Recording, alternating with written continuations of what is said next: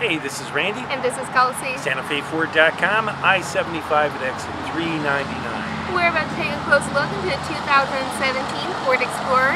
Stay tuned. Here we have a 2017 Ford Explorer Limited with fog lights, alloy wheels, tinted windows, remote keyless entry, keypad door lock, roof rails, a spoiler, and remote liftgate release. This vehicle is still covered by its bumper-to-bumper -bumper warranty and has a clean Carfax. For more information, please visit us online at santafeford.com or give us a call at the number located down below. Now let's take a look inside. Here's a look into the front of the vehicle. The interior is of tan leather and both driver and passenger seats are powered. Inside this vehicle there are power windows, locks and mirrors, as well as memory seats, mirrors, pedals, and steering wheel for the driver's side.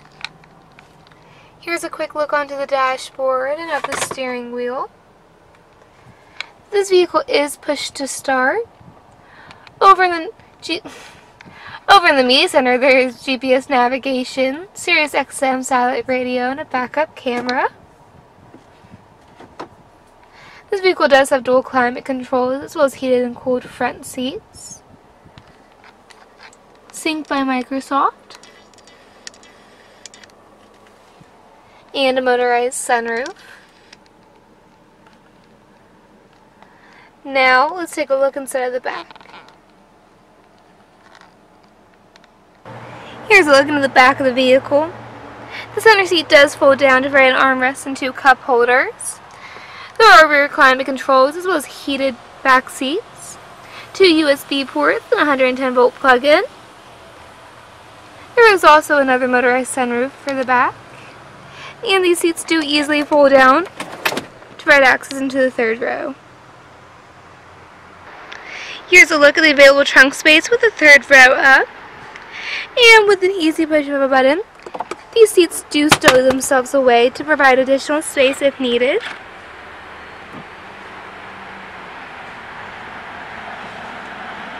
And underneath the hood, there's an i4 2.3 liter engine. Alright, that was a 2017 Ford Explorer. If you need any other additional information, please don't hesitate to visit us online at santafeford.com or give us a call at the number down below. This was Kelsey. See you next time.